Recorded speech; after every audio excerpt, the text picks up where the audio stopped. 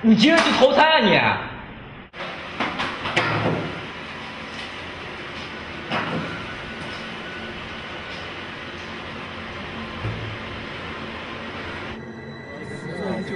你这个懦夫！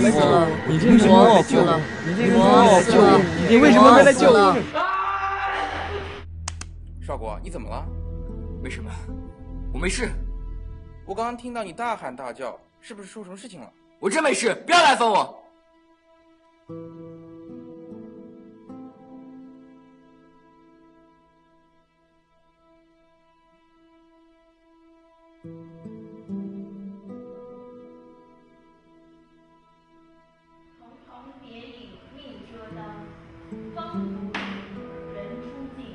风后，真对不起啊，刚刚我没事儿，我只是担心你。担心什么？就是自从那件事之后，你知道那个人吗？哪个人？就是那个神秘的怪人。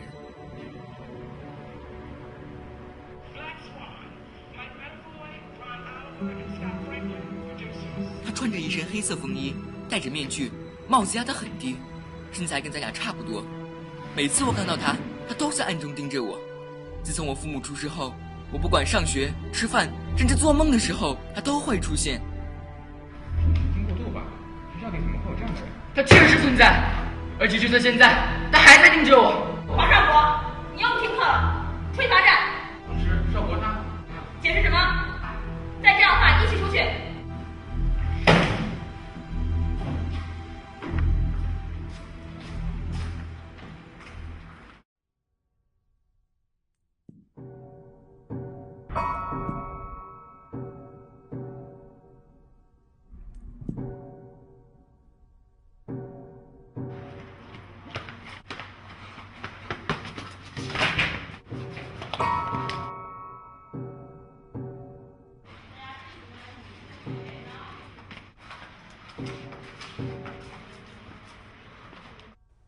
是我们终于见面了。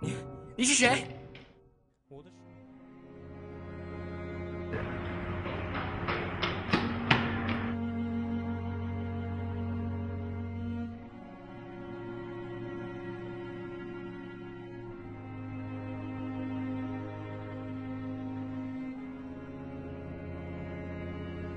这，这是怎么回事？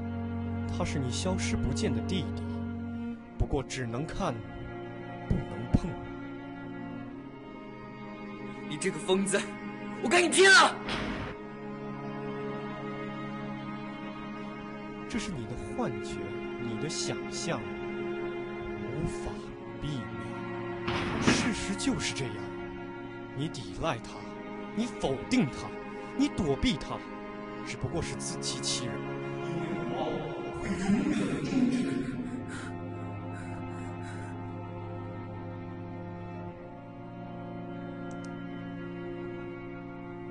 他出现了，是啊，就在刚刚，为什么我看不到？他好像只有我才能看到。他总是在恐吓我、威胁我、压迫我。更可怕的是，他好像已经盯上我了。啊？哦，对了，华文老师找你。知道了，我一会儿就去。你今天是怎么了？现在已经下午四点多了，老师们早就走了。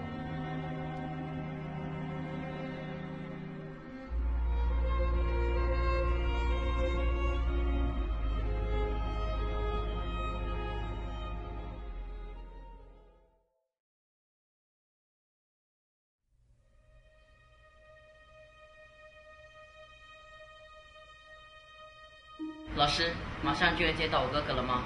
嗯，我想快了。昨天我让风后去通知他来见我，今天就给他一个惊喜。老师是在这里等我吗？嗯，对呀、就在那。你要好好安慰安慰他，他以为你出事了，最近听课都不认真。既然还得请我去，他最近的精神好像是不太好。对你啊，还有个惊喜，什么？到了你就知道了。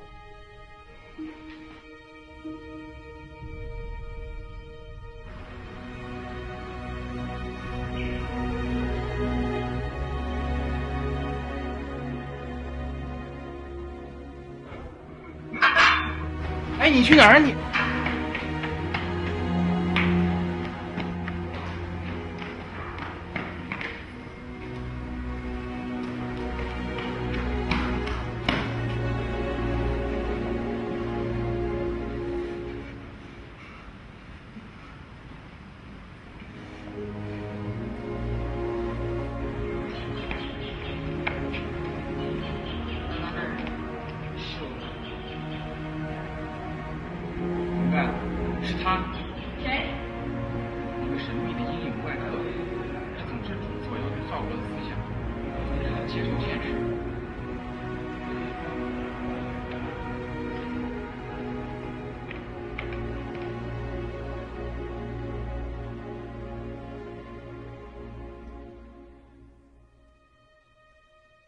曾有无数的问题企图摧毁你的理性，剥夺你的常识，但你都能勇敢的面对。呃但为什么这一次你却连面对你自己亲生弟弟的勇气都没有？为什么？为什么？是因为你的懦弱吗？还是恐惧笼罩了你？于是你在慌乱之中就选择了我，把我当做麻痹你思想的精神鸦片。想找罪人的话，就去照照镜子吧。是个男人的话，就举起你的拳头来尽情的鄙视我、憎恨我吧。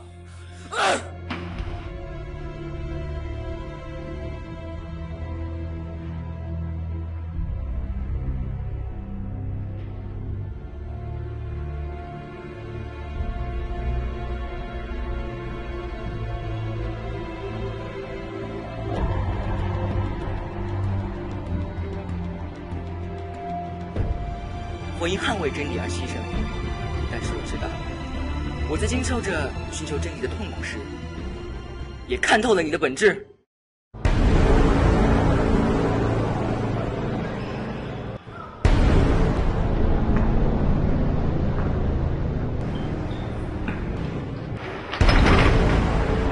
看你还耍什么花招？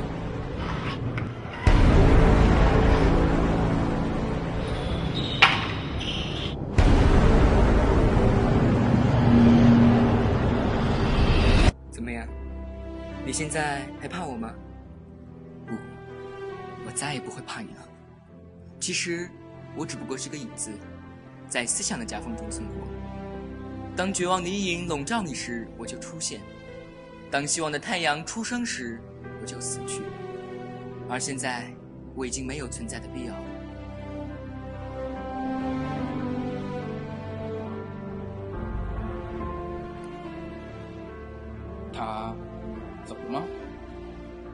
是啊，他已经永远的走了。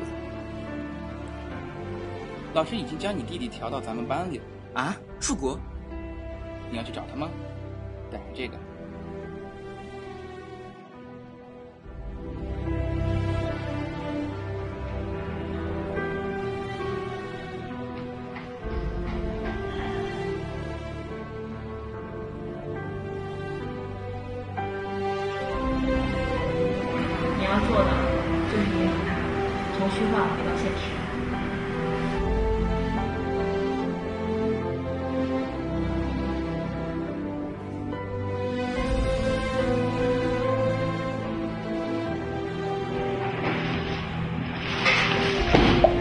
你竟然去投胎啊你！的